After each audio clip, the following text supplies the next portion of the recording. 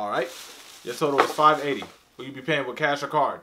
Can I pay part in cash and part in card? Oh yeah, that's that's fine. I mean.